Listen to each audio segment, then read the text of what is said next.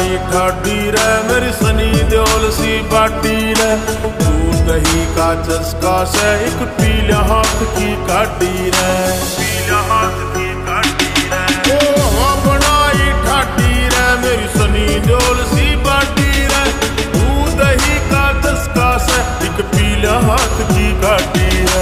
कान को बैठक में